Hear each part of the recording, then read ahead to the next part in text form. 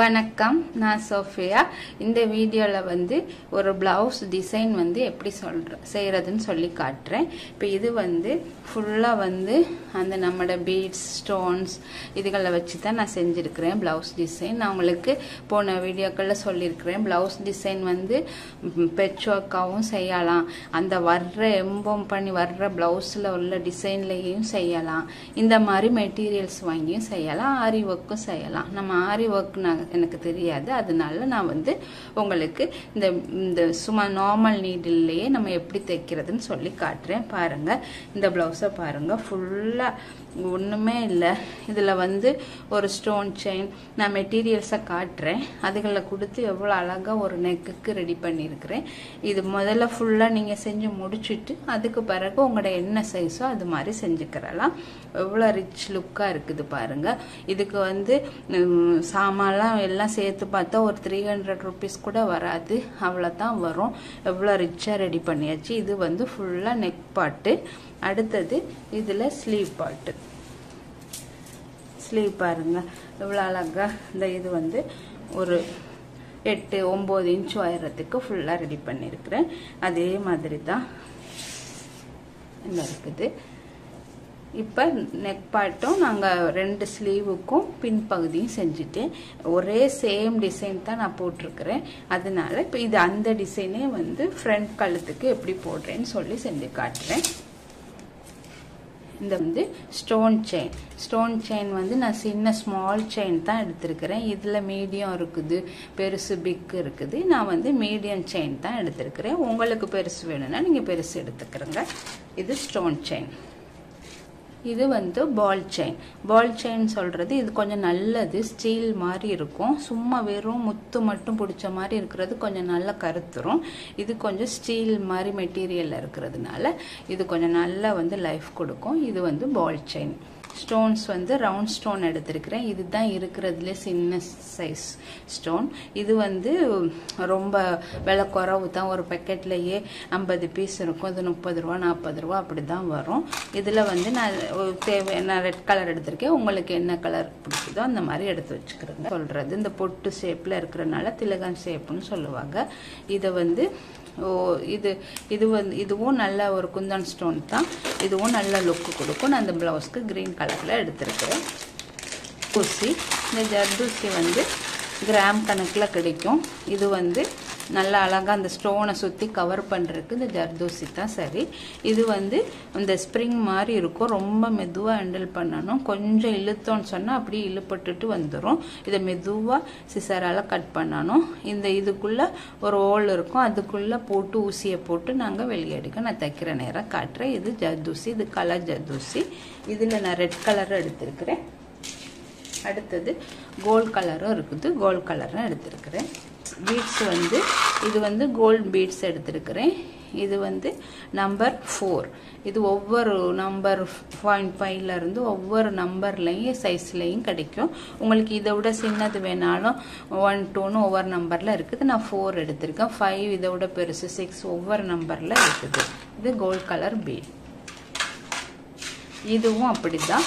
அந்த gold colour பீட்லேயே number இது வந்து நான் நினைக்கிறேன் ஒன்றுன்னு நினைக்கிறேன். சரியாக எனக்கு தெரியலை. ஆனால் சுகர் பீட்ஸை விட கொஞ்சம் பெருசாக இருக்கும். அதுக்கு பிறகு ஒரு க்ளூ ஃபேப்ரிக் க்ளூ எடுத்துக்கிறனும் இதால் தான் நாங்கள் ஒட்டிக்கிற போகிறோம் அடுத்தது நார்மல் நீடில் நாங்கள் சாதாரண தைக்கிற தையல் ஊசி எடுத்துக்கிறணும். இது என்னன்னு சொல்லிட்டா இதை வச்சு தான் நாங்கள் எல்லாம் ஒட்டி முடித்த பிறகு இதுகளை ஒரு மேலால் ஒரு தையல் ஒன்று போட்டுறணும். அப்போ தான் எங்களுக்கு அது வந்து கழுவுனாலும் நிற்கும் தையல் போடலைன்னு சொன்னால் அந்த க்ளூ வந்து கொஞ்சம் இதானாலும் கீழே விழுகிறதுக்கு வாய்ப்பு இருக்குது அதனால எல்லாத்தையுமே முதல்ல ஒட்டிட்டு நம்ம அதில் வந்து தையல் போட்டுக்கிறணும். அந்த ஸ்டோனில் கூட இந்த பாருங்கள் இந்த ஹோல் இருக்கும் அந்த ஹோலில் வந்து நீங்கள் ஊசி போட்டு தைச்சிக்கிறணும். அப்போ தான் அந்த ஸ்டோன் வந்து நிற்கும் முதல்ல லைட்டாக ஒட்டிட்டு அதுக்கு பிறகு நீங்கள் வந்து இதில் தையல் போட்டுறணும் ரெண்டு பக்கமும். அதே மாதிரி சின்ன சைஸ் ஸ்டோன் எல்லாத்துலேயுமே இந்த ஹோல் இருக்கிறதுனால எங்களுக்கு ஈஸியாக செஞ்சிடலாம். இப்போ வாங்க நான் எப்படி செய்கிறதுன்னு காட்டுறேன். நம்மள்கிட்ட ஃப்ரேம் இந்த பேக் சைடு செய்கிற நேரம் பெரிய ஃப்ரேம் வச்சு போட்டு ஃபிட் பண்ணிக்கிறேங்க. இப்போ இதில் வந்து சின்னது போடலாம். நான் சின்னது வச்சு ஃபிட் பண்ணுறேன் நீங்கள் ஃப்ரேம் இல்லைன்னு சொல்லிட்டா ஒன்றும் விஷயம் இல்லை. நீங்கள் வந்து சும்மா அந்த ப்ளவுஸை வந்து கீழே வந்து ஒரு பொலித்தீன் சீட் அந்த பிளாஸ்டிக் பேப்பர் மாதிரி ஏதாவது கீழே அந்த கம் வந்து தரையில் படாமல் நாங்கள் தரையிலையோ எதுலையோ மேசையிலையோ வச்சு செய்கிற நேரம் அதில் படாமல் இருக்கிறதுக்கு ஒரு சீட்டு மாதிரி விரிச்சிட்டு பிளாஸ்டிக் சீட் மாதிரி ஏதாவது விரிச்சிட்டு அது மேலே செய்யுங்க. இல்லை ஃப்ரேம் இருந்துச்சுன்னு சொன்னால் ஃப்ரேமில் வச்சு ஃபிட் பண்ணிக்கிறேங்க. இப்போ பாருங்கள் நான் அழகாக நல்லா ஃபிட்டாக இதை வந்து ஃப்ரேமில் வந்து இந்த துணியை வந்து வச்சாச்சு. இப்போ நாங்கள் ஃபஸ்ட்டு இந்த கோடு வரைஞ்சிருக்கிறேன். இதுக்கு கீழே இருந்து நான் செய்ய போகிறேன் இதில் அப்படியே கம்மால் ஒரு கோடு வரைஞ்சிக்கிறேங்க முதல்ல. இந்த போல் செயின் ஒட்டுறதுக்கு.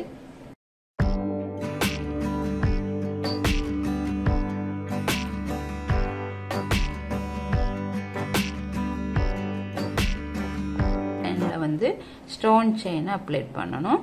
அதுலேயும் ஒரு லேயர் அப்படியே கம்ம முதல்ல கோடு மாதிரி போட்டுக்கிடுவோம்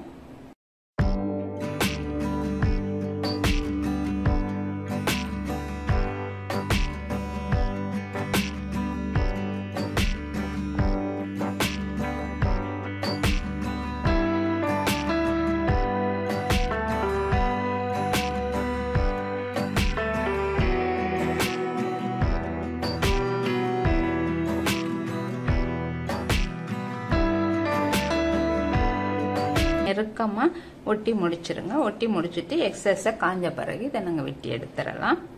இப்போ இதில் இருந்து நான் ஒரு ஒரு மூணு ஸ்டோனுக்கு மார்க் பண்ணிக்கிறேன். ஒன்று ரெண்டு மூணு. இந்த பக்கம் நம்மளுக்கு எப்படியுமே தெரியாது. அதனால மூணு ஸ்டோன் வந்து மேலேயும் கீழே ரெண்டு பக்கமும் அந்த தைக்கிறதுக்கான ஓட்டை இருக்குது. அதனால நாங்கள் இதில் கம் மட்டும் லைட்டாக பூசி அப்ளை பண்ணிக்குவோம்.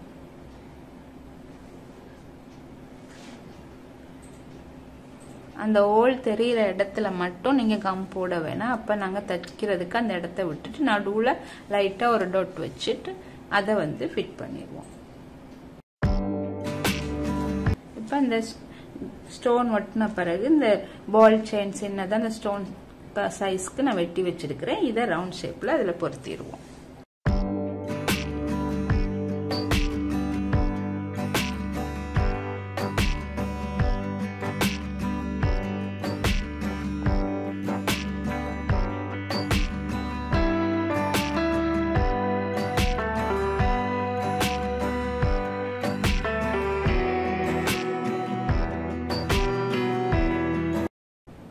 இதே மாதிரி சுற்றி வர அஞ்சு வெள்ளை ஸ்டோன் அப்ளை பண்ணிக்கிறோங்க. இதுலேயும் அப்படித்தான். இதில் வந்து அந்த ஹோல் இருக்குது. அப்போ நாங்கள் லைட்டாக கம் அப்ளை பண்ணிவிட்டு இந்த ஹோலில் வந்து ஸ்டிச் போட்டு பண்ணிக்கிறணும். அப்போ தான் அந்த ஸ்டோன் வந்து கீழே விழுகாமல் இருக்கும்.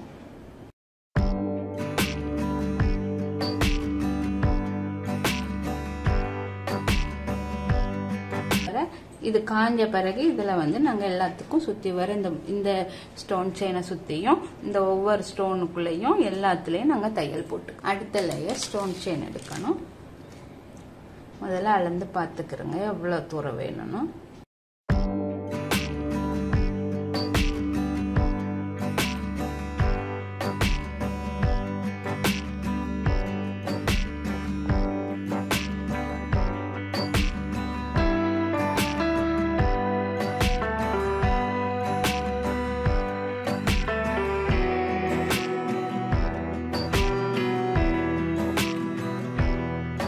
அடுத்தது அந்த ரெட் கலர் ஸ்டோனை வந்து அடுத்தது சுற்றி வர ரெட் கலர் ஸ்டோனை அப்ளை பண்ணணும்.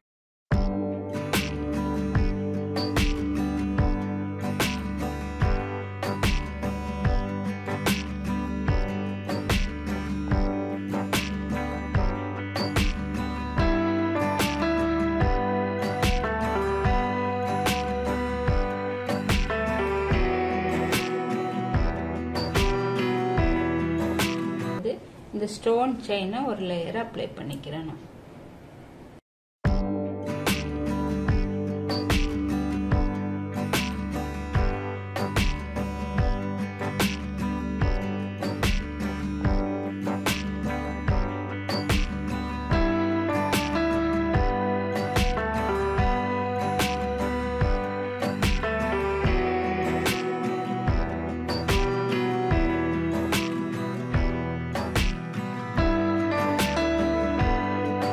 அடுத்தது எக்ஸ்ட்ரா உள்ள இடத்துல எல்லாம் இந்த ஸ்டோனை வந்து ஒட்டிக்கிடுவோம்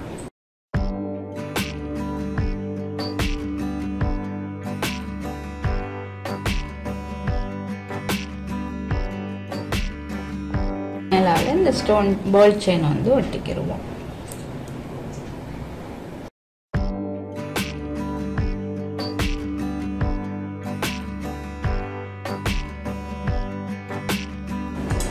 அடுத்து இந்த ஜர்தோசி எடுத்து பொடி பொடியாக வெட்டிக்கிறணும்.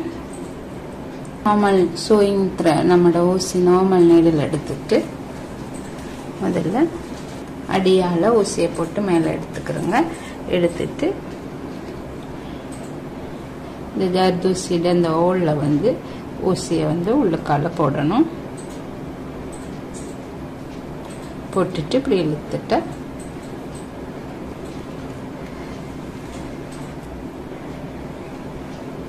இதை இப்படி தையல் மாதிரி போட்டுறணும். மாதிரி அடுத்த பக்கம். அடியால் இருந்து ஊசியை மே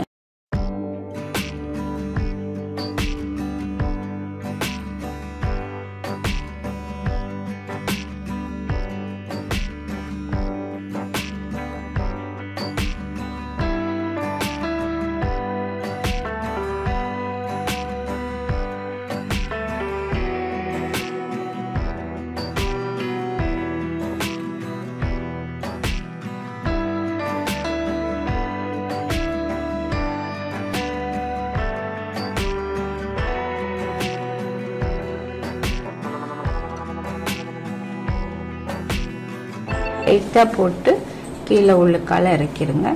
இறக்கிட்டு அடுத்த மற்ற இதுக்கு திருப்பிடுங்க.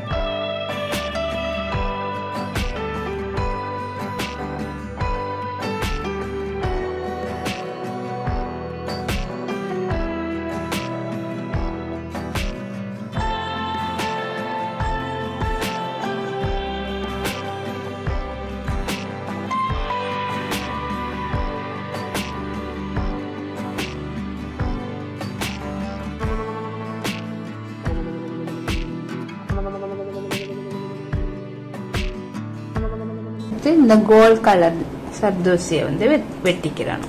பொடிசு பொடிசா. சின்ன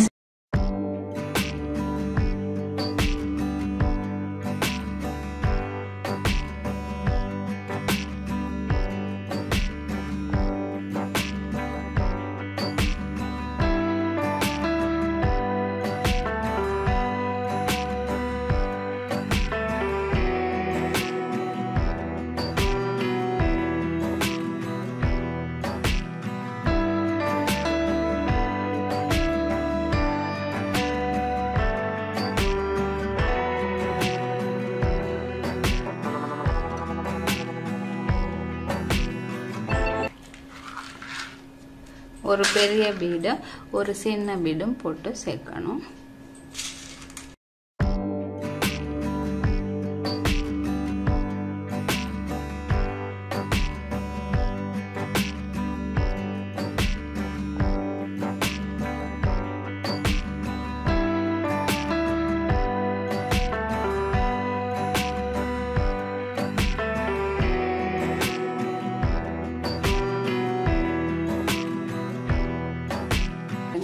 ரொம்ப சிம்பிளாக இந்த ஸ்டோன்ஸும் இந்த பால் செயினும் இதுகளை மட்டும் வச்சுட்டு இந்த பீட்ஸ் மட்டும் வச்சுட்டு ஒரு த்ரீ ஹண்ட்ரட் ருபீஸ் தான் முடிஞ்சிருக்கும்.